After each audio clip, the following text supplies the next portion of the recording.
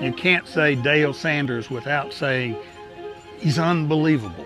The guy's amazing. He is an amazing human being. He's magic.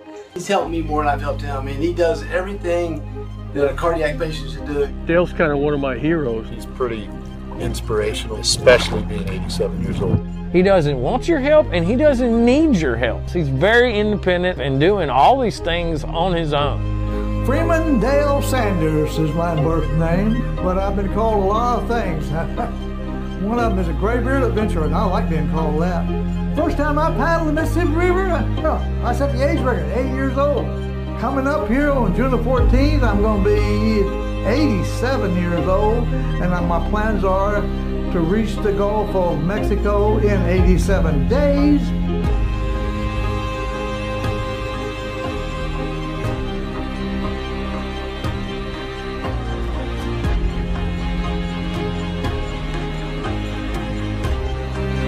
Have no doubt in my mind that uh, he will accomplish this this year.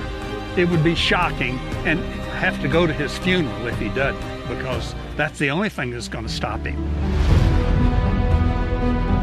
I mean, he does more than people ha half his age. He went from rim to rim in the Grand Canyon, the Appalachian Trail, the canoe trip down the Mississippi River.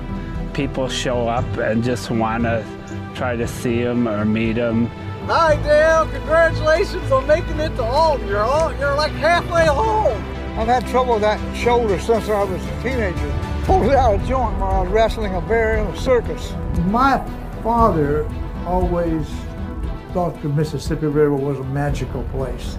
So to me, from growing up little and hearing his story about the boiling river, Mississippi is a mysterious river to me.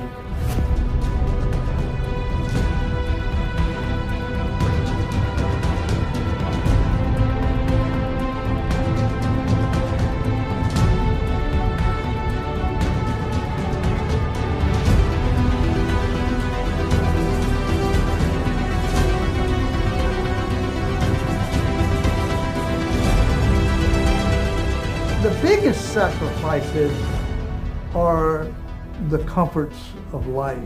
This mud and the mosquitoes and the coldness, it just, it wears on the human body. And then it started raining. One day, Wow. the next day, the next day. Okay in there, Dan? Pat, you okay? The swells are too big. And they're turning me sideways. I had a bad night last night, vomiting and diarrhea all night. Okay, who got seasick? Chance of a lifetime to see this. People wouldn't take it up. One of these days I'm gonna get old.